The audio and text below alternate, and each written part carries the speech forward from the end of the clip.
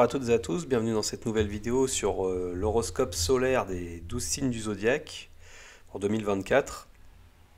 Donc je vais faire euh, comme chaque année l'horoscope, ce qu'on appelle solaire, c'est-à-dire général. hein, c'est vraiment général, ça remplace pas euh, la consultation donc d'un thème individuel, personnel.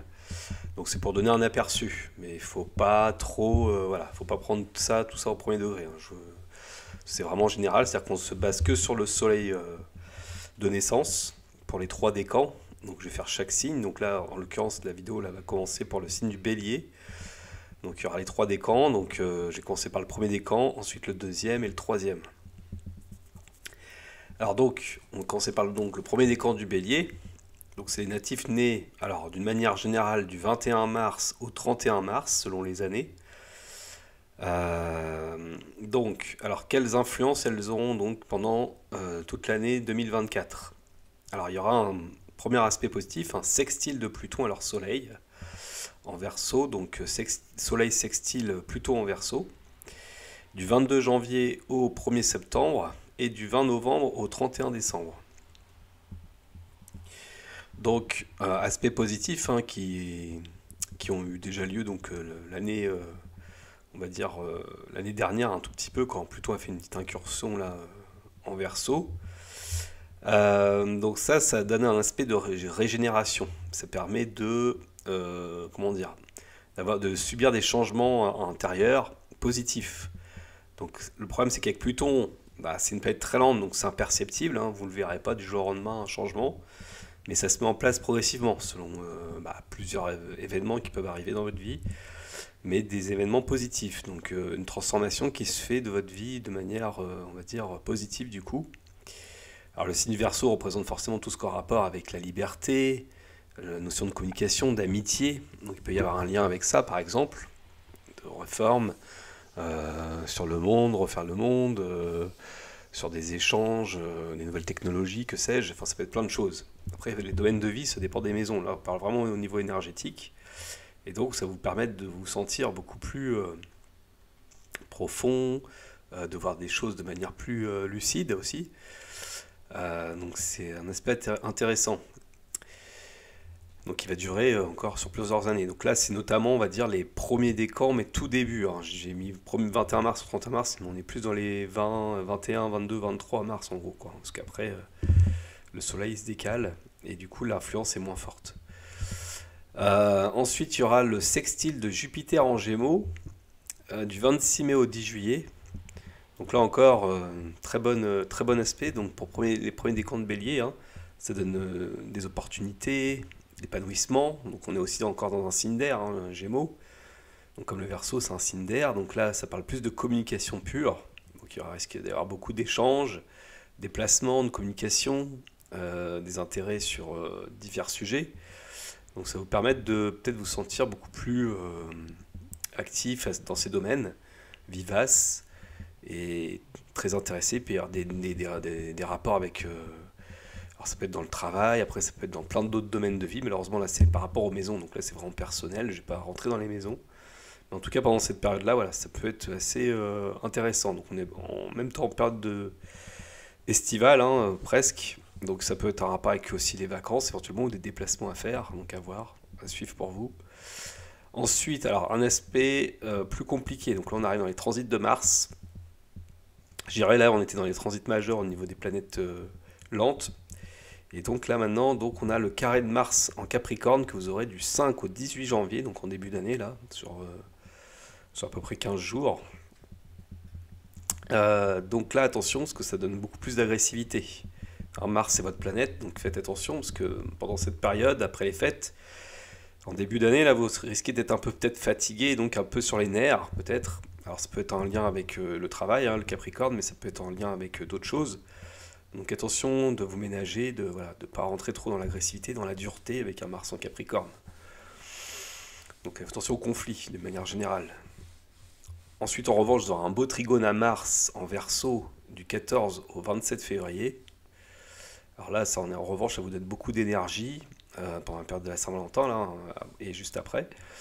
Euh, donc peut-être beaucoup d'échanges, refaire le monde, peut-être avec des proches, avec des amis.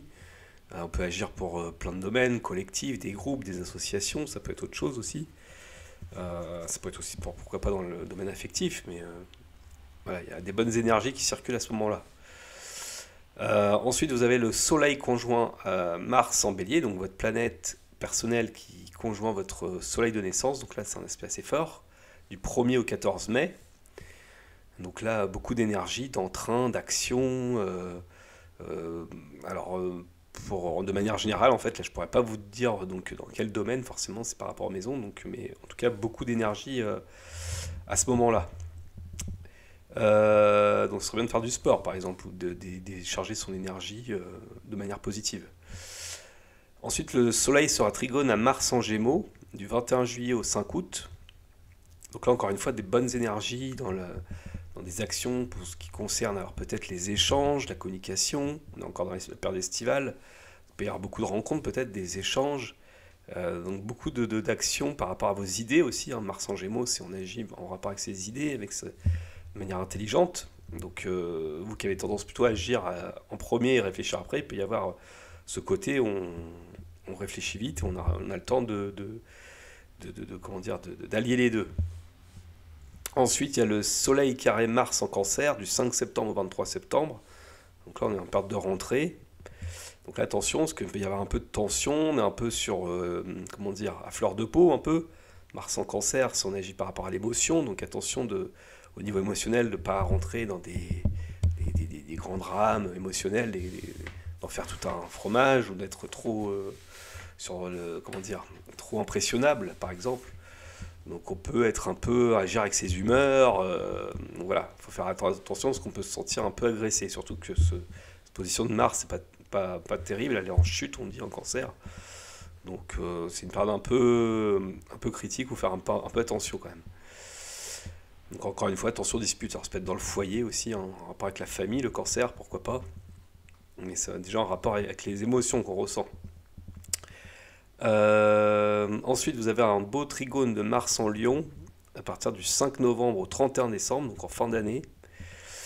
Euh, donc là, bonne énergie pour s'imposer, pour briller, pour agir euh, selon sa volonté, ses convictions, avec, avec entrain, avec cœur, avec beaucoup de, chaleur, de signes de feu.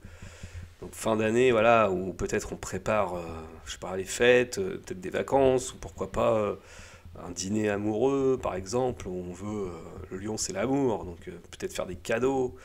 Alors ça peut être plein de choses, hein, bien sûr, là c'est très général. Mais voilà, ça peut vraiment être euh, très, très positif à ce moment-là. Enfin, on va parler des, autres aspects. Donc, il y a Soleil conjoint nœud nord en bélier, parce qu'on a le nœud nord en bélier euh, donc, euh, toute l'année. Hein. Et donc, le Soleil rejoint nœud nord du 25 juillet au 31 décembre, pour vous. Donc, deuxième partie de l'année, on va dire intéressante d'un point de vue karmique, d'un point de vue évolution, on va dire. Donc il peut y avoir euh, des choses importantes euh, qui peuvent se mettre en place dans votre vie, pourquoi pas. Une avancée, un, tournant, quelque chose, un événement qui peut être à suivre.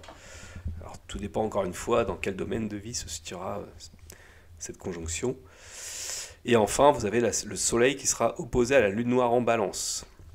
Donc là, c'est un aspect aussi karmique, mais plutôt négatif. Donc attention, parce que ça, peut donner des... Comment dire alors c'est pas grave, mais ça peut donner un problème au niveau peut-être du couple, des, échanges qui sont un peu euh, obscurs, un peu compliqués. Il peut y avoir un problème d'acceptation, un problème de confiance en soi aussi. Euh, ça peut être un rapport avec le père, avec l'homme en général, l'autorité. Il peut y avoir un, souci euh, karmique, une, une difficulté en rapport avec tout ça. Donc ça, ça aura lieu du 30 juin au 28 septembre. Voilà.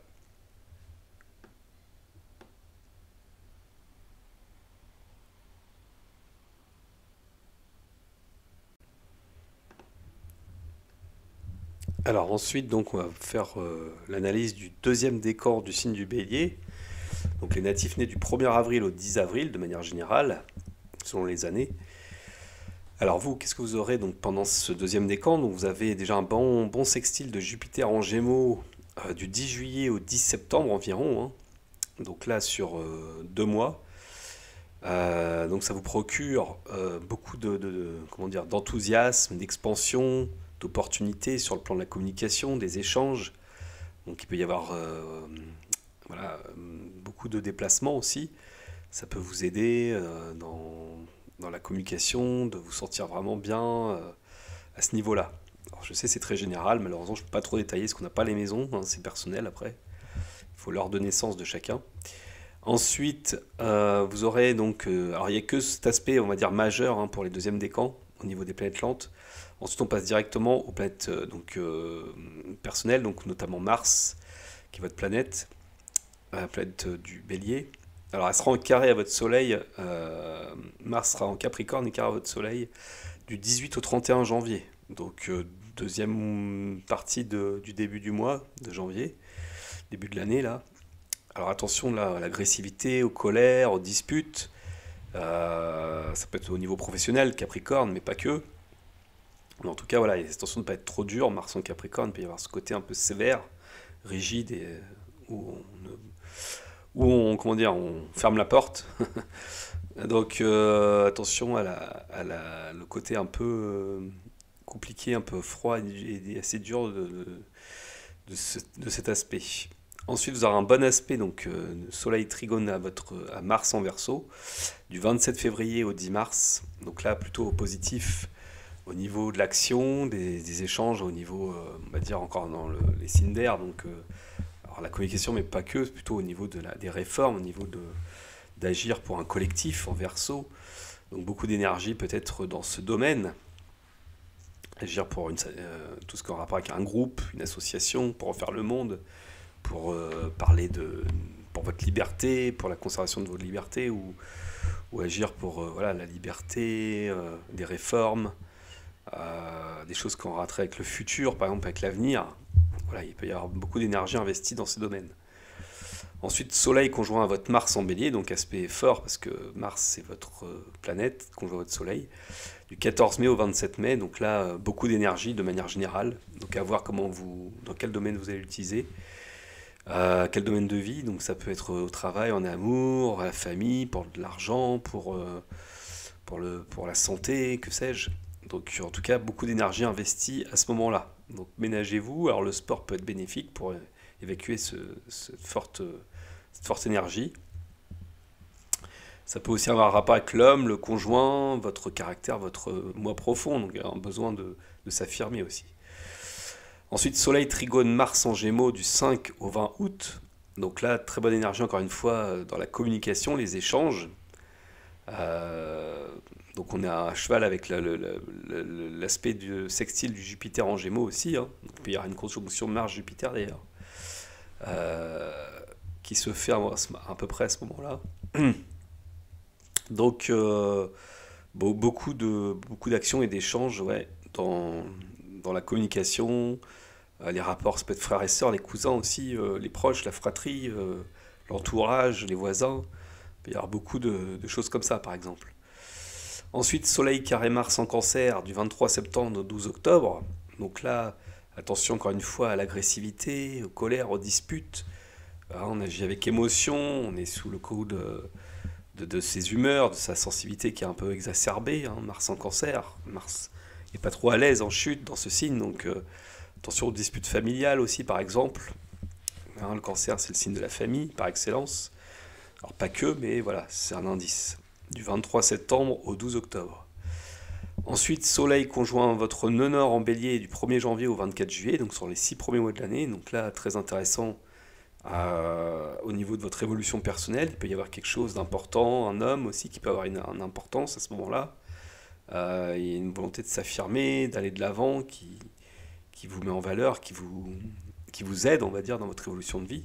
Alors ça peut être plus ou moins facile, ça peut être... Euh, des fois le non-nord, c'est pas toujours positif, hein, ça peut être un mal pour un bien. Donc euh, à voir comment, ce qui peut arriver dans votre évolution euh, à ce moment-là. ensuite, Soleil opposé Lune Noire en balance, donc du 28 septembre au 31 décembre. Donc attention à la dette karmique, ça peut être une zone d'ombre en rapport avec un homme, un mari, une figure d'autorité, un patron par exemple, un chef d'entreprise ou que sais-je. Euh, votre moi intérieur aussi, vous pouvez vous sentir beaucoup plus, un peu plus, comment dire, moins confiance, plus, un peu un rejet de vous-même. Il peut y avoir un, un problème de, d'amour propre à ce moment-là, dans la relation avec l'autre aussi, euh, en balance, donc ça peut être des problèmes de couple, par exemple. Donc attention à se ménager, euh, de faire attention de ne pas broyer du noir, en gros, d'être, de rester euh, lucide et positif, et éventuellement de, voilà, de s'aérer l'esprit autrement. Ensuite, Soleil conjoint Chiron en bélier, enfin, donc du 1er janvier au 18 avril, et du 13 novembre au 31 décembre. Donc il y a deux dates, en gros, puisqu'il va faire un passage rétrograde, donc il va revenir à nouveau, conjoint. Euh, donc là, c'est en rapport avec euh, les blessures de l'âme. Il peut y avoir un problème à régler euh, sur un plan, on va dire, de la santé. Un peu alors pas forcément la santé en tant que telle, problème de santé, mais ça peut être en rapport avec l'état d'esprit, un, état général de, de, de, ressenti, de, comment dire, d'état d'esprit, de se sentir bien dans sa peau, dans son esprit. Donc il peut y avoir des blessures qui peuvent euh, parfois euh, comment dire, nous affecter, des choses qui peuvent nous blesser, notamment par rapport à des actes ou par rapport à un homme aussi, le soleil, pourquoi pas. Donc euh, à suivre un peu aussi à cette période-là et de se ménager. Alors tout est, tout est autant que l'aspect peut être plus ou moins bien inspecté, une conjonction, ça reste neutre en général. Donc elle peut être positive si elle est soutenue par de bons aspects et plutôt négative si elle est soutenue par de mauvais aspects. Donc euh, il faut en dire un peu des deux. Voilà. Après, c'est vraiment au cas par cas. Après, je pourrais pas trop vous dire à ce moment-là. Alors enfin, donc euh, analyse du troisième décan euh, du signe du bélier. Donc ce sont les natifs nés du 11 au 20 avril, de manière générale, selon les années. Alors, donc qu'est-ce qui vous aurait donc pour vous donc durant l'année 2024 Alors il y aura le Soleil carré Pluton en Capricorne du 1er au 21 janvier et du 2 septembre au 19 novembre. Donc deux périodes de l'année où il faudra donc, euh, vous pourrez vivre des périodes assez compliquées. Euh, euh, alors on termine un aspect de Pluton, hein, courage, il reste encore cette année au tout dernier décan de Capricorne, donc c'est vraiment ceux qui sont nés en fin de période de, de, de, mois, hein, vers le 18-20 avril en gros. c'est vrai que vous êtes les plus affectés par cet aspect, on va dire. Mais enfin, vous terminez un, un, long, un long passage, un, long carré qui a, pu vous éprouver, pour ceux qui se, reconnaîtront. Et donc ça va se terminer. Hein. Il faut tenir encore cette année jusqu'au 19 novembre, avant le passage définitif du Pluton en verso. Euh, donc ça a pu euh, bouleverser votre vie, enfin transformer radicalement votre vie. Il y a pu y avoir des décès, euh, des transformations profondes. ça peut être le rapport avec un homme, vous-même, quelque chose qui a pu, ça peut être un divorce, une séparation, un truc qui a marqué, et que, euh, alors ça peut être plein d'autres choses, mais qui a, transformé de manière de votre vie, mais en passant par des, dire des épreuves ou des, des, moments assez compliqués. Il a fallu tout perdre en général pour reconstruire. Ça peut être une maladie aussi dans le pire des cas. donc ça, c'est cet aspect voilà, majeur et le deuxième aspect majeur, c'est le Soleil sextile euh, Jupiter en Gémeaux du 11 septembre au 6 novembre. Donc là, en revanche, c'est plutôt positif. Donc au niveau épanouissement, échange, communication, déplacement, il peut y avoir beaucoup de, ouais, d'échanges avec les proches, les voisins par exemple, ou autres, hein, des collègues. Mais de manière générale, Gémeaux représente tout ce qui a rapport avec euh, les proches, le, voisinage, les cousins, les cousines, euh, les frères et sœurs. Donc euh, éventuellement à voir après, euh, selon le thème de chacun bien entendu. Ensuite, donc, il y a les transits de Mars, donc Soleil trigone Mars en Sagittaire, du 1er au 4 janvier, donc tout début d'année.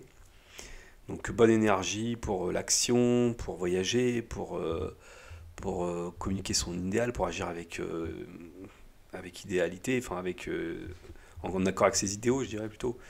Donc il peut y avoir voilà, pourquoi pas du sport, hein, c'est juste après les fêtes, donc peut-être besoin de, de voilà, de, d'évacuer un peu toi, le trop-plein de, voilà, des, fêtes, par exemple. Bon, c'est un exemple, hein, c'est pas forcément ça, mais en tout cas, il y a une bonne énergie qui se met en place pour agir.